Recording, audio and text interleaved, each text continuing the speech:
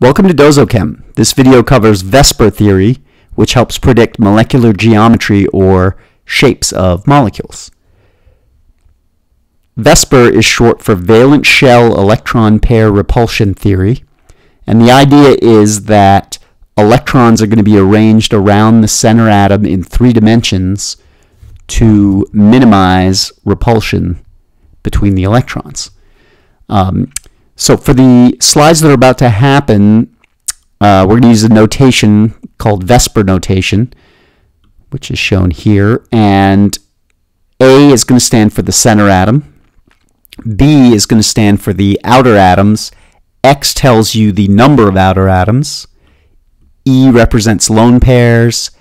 And Y tells you the number of lone pairs on the center atom. So we're not looking at the outer atoms uh, lone pairs on the outer atoms, just the center atom.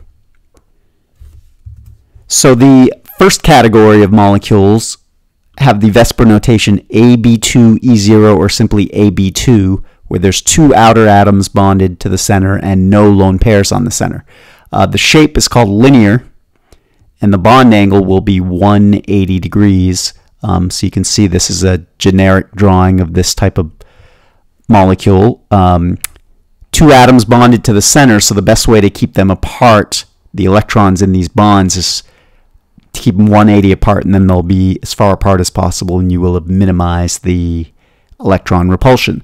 Um, so classic example of this is carbon dioxide. Here's the Lewis structure. Um, you see there's two atoms bonded to the center and no lone pairs on the carbon. Um, so it's going to be AB2. Um, so all I'll do is uh, redraw the drawing from above, but put in the real elements, carbon and oxygen.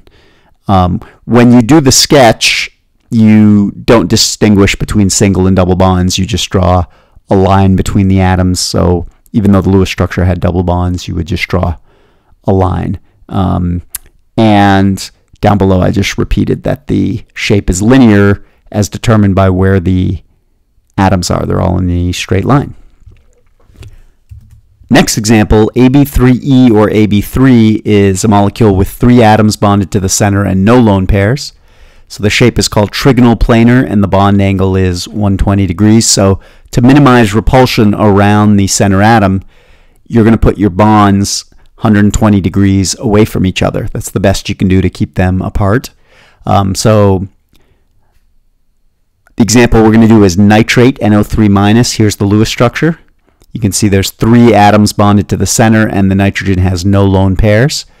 So best way to keep them apart is 120 degrees. I redraw the drawing above, except I put in the nitrogen and oxygen atoms rather than A's and B's. And again, uh, even though there was a double bond in the Lewis structure, you don't show that in your sketch of the molecule. Um, and again, the shape is called trigonal planar. Uh, all the atoms are in the same plane, and the outer atoms are in the shape of a triangle, so you call it trigonal planar. Uh, next example, AB4E0, or simply AB4, that's four atoms bonded to the center and no lone pairs. Uh, it's called tetrahedral, and the bond angle is going to be 109.5 degrees. Um, if you were stuck in two dimensions, you could put the A in the center and the four B's around it in a square, and that would give you a bond angle of 90 degrees, but you can actually do better than that if you go to three dimensions. Um, so the shape tetrahedral, when you see a, a bond, it's in the plane of the paper. When you see the solid triangle, that means it's coming out towards you. And when you see the dashed triangle, it means it's going backwards behind the paper. So um, hopefully you can visualize that in your head, the three-dimensional shape. Um, but imagine a pyramid with the B atoms at the corner of the pyramid and the A atoms in the dead center of the pyramid. Um, and that will give you a bond angle of 109.5, so actually better than 90 degrees, which is what you would get if you were stuck in two dimensions. So remember, the goal is to minimize electron repulsion by keeping these bonds as far away from each other as possible because electrons repel each other. So uh, the example carbon tetrachloride, you see the Lewis structure, uh, four bonds to the center, four atoms bonded to the center, no lone pairs on the carbon. Um, so here's the same sketch as above with carbon and chlorine just subbed in for the A's and B's and bond angle 109.5. And again, that's called tetrahedral. Um, it's called that. Hedral means faces. If you connected the chlorine atoms, uh, you would get a pyramid with four faces. Um, and that's why it's called tetrahedral, four faces. All right, next example, AB2E1. Now we're doing examples that have lone pairs. So this one's going to have two atoms bonded to the center and one lone pair. Turns out it's going to be bent and a bond angle of less than 120. So we'll explain why that is in a second. But um, if you have two atoms bonded and a lone pair, you want to keep both the bonds, so here's one, two bonds, and the lone pair as far apart as possible. So you're going to keep them 120 degrees away from each other about um, to minimize electron repulsion. Um, but what's going to happen in this case is the lone pair has a slightly larger repulsive effect than the bonding pairs, so that's going to shrink the bond angle a little bit less than 120. Um, so you'll see that every time there's lone pairs, the bond angle ends up uh, a little bit less than you would expect um, because the lone pair has a stronger repulsive effect. So uh, example here, the nitrite ion, not nitrate, but nitrite, so it's NO2 minus. Um, so here's the Lewis structure. You can see there's two oxygen atoms bonded to the center, but this time there's a lone pair. So it's AB2E. Um, here's the sketch I drew above, but with N's and O's, replacing the A's and the B's.